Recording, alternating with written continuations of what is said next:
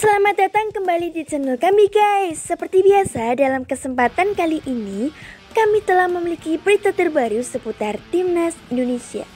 Kira-kira ada berita apa untuk hari ini ya? Daripada kalian penasaran, simak berita ini hingga akhir ya. Namun sebelum lanjut, jangan lupa untuk klik like dan subscribe channel ini ya Biar kalian nggak ketinggalan update terbaru seputar Timnas Indonesia Dua pemain timnas U19 Indonesia Muhammad Kanu dan Randy Juliansa dilaporkan akan bergabung dengan klub luar negeri. Kabar itu diucapkan secara langsung oleh Muli Munial selaku manajer dari kedua pemain timnas U19 Indonesia tersebut. Saat dihubungi bolasport.com, Muli Munial mengatakan kedua pemain itu segera berkarir ke luar negeri karena adanya faktor kerjasama dengan Munial Sport Group atau yang lebih dikenal dengan MSG.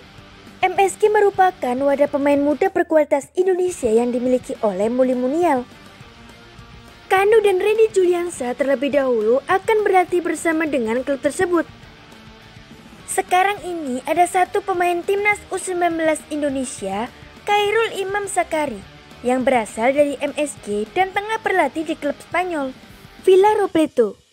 Sekarang ada Kairul Imam Zakari di Sukunda B yang tengah latihan di Spanyol. Rencananya Kanu dan Randy Juliansa akan menyusul dan lagi diusahakan untuk program latihan di luar negeri. Ucap Muli Munial menambahkan, Sayangnya, Muli Munial tidak mau membeberkan klub luar negeri yang akan didatangkan Randy Juliansa dan Kanu. Muli Munial saat ini tengah melihat situasi negara yang lockdown akibat pandemi COVID-19. Saya belum bisa bicara klubnya, kata Muli Munial. Ada beberapa opsi tapi tergantung lockdown di sana. Ucap mengakhiri. Menilik dari fakta di atas, bagaimana komentar kalian guys?